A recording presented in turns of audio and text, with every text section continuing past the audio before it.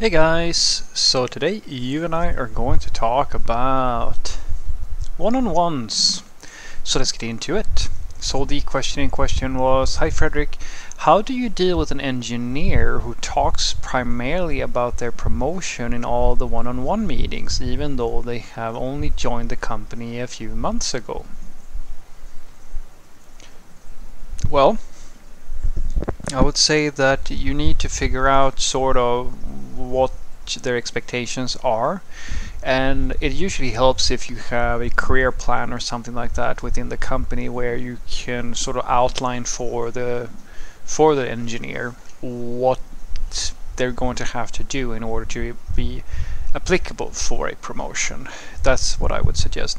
You can't really, uh, well, if this is a very ambitious person, it's important to understand that the the worst thing you can do is sort of dismiss their ambition because the reality is that their drive is to their credit. And I would say also as a side note that you should think a little bit about why it is that you feel that quote unquote just a few months isn't enough for someone to be applicable for a promotion. Uh, because the reality is that if you're actually running your company based on merit, then it shouldn't really matter how long they've been in the company. It's more a question of have they been there for long enough to build up a track record of value that proves that they meet the expectations that you have for a promotion. And my guess is that perhaps you are not so clear either. Uh, you, maybe that's the root problem here, uh, that you're not so clear on what expectations you have in order for someone to be applicable for a promotion. Because usually the way that these things tend to work is that the managers who are in charge of promoting people are simply winging it, if that makes sense. You're actually just going on gut feeling when you feel like someone deserves a promotion, and that is, in my opinion, the worst way you can promote somebody, because the the whole point of promoting people is, in my opinion at the very least, it's not about rewarding someone for committing to your company. That's the worst reason you can possibly use because then you're basically rewarding people in terms of uh, not in terms of what they produce and the value that they give, but you reward them based on other factors and that's always a recipe for disaster because then you get people who may not actually be the best suitable uh, in a position you put them in a position where they have a larger impact which means that their inability to perform might actually spread even further than you would like. So if a person has joined your company just been there for a few months but uh, like I mean of course they can have like weird expectations and that's why I was talking uh, first and foremost that you have to define what those expectations are. Uh, I can of course go through with you a little bit like the sort of roadmaps that I have suggested to companies for like how do you identify top talent? How do you leverage top talent? And how do you provide a sustainable career path for top talent that doesn't necessarily end in uh, uh, like the management track? Because that's usually what managers will do. Like your promotion strategy is almost always going to end up with somebody going into management.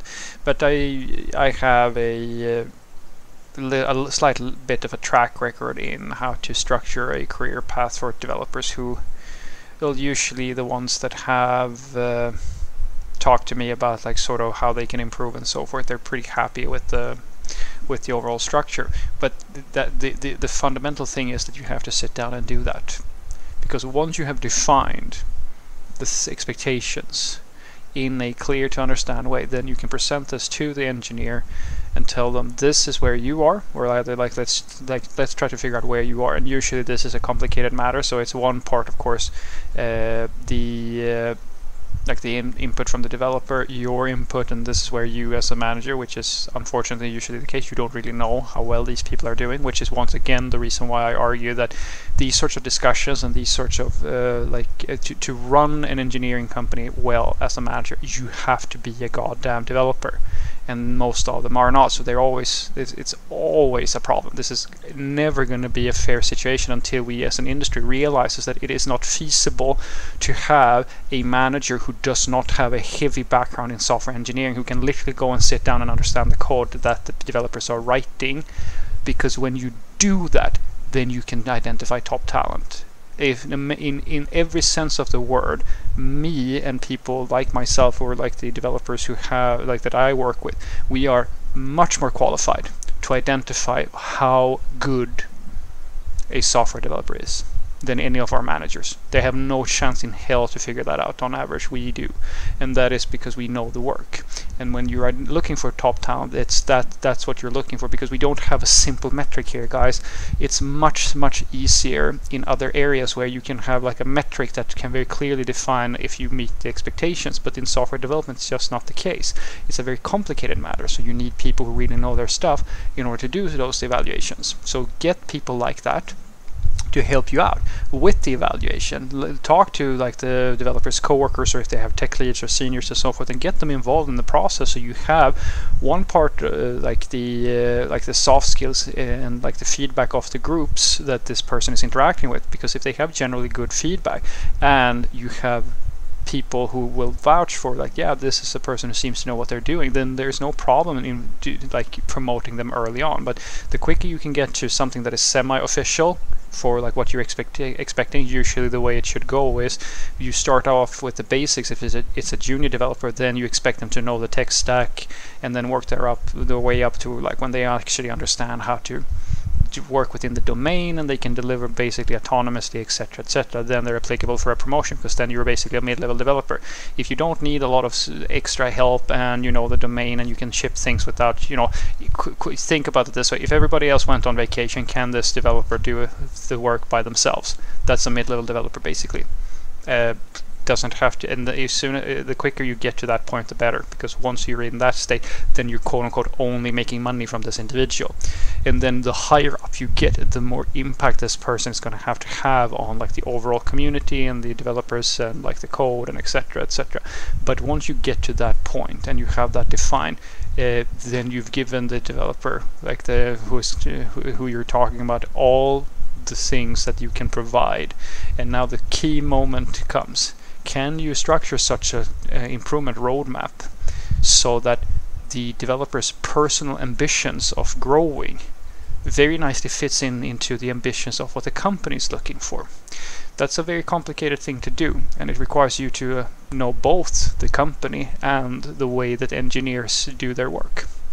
So what I want you to take away from this is that uh, if you have an engineer who's just looking to get promoting uh, promotions, you try to leverage that ambition as much as possible. Create a a promotion roadmap and uh, figure out how to actually leverage all of that ambition because usually these people who are talking about early promotions and so forth either they're a little bit weird in terms of like what their expectations are and they want to get promoted like for nothing but in many cases it might be that this person has just identified that they are actually doing better uh, in terms of like they're improving quality, doing testing, like they're following better practices. It might be that you actually have a person here who's actually really, really good, and it turns out that the reason why this is a weird expectation is that you think that it's too early for to promote this person, but the reality is that this person could actually be one of your best, and the reason why nobody else is do, acting the same way is because they simply are they, they don't really care because you, your idea is that you, you're measuring the effectiveness of your employee based on time, which is the worst thing you can possibly do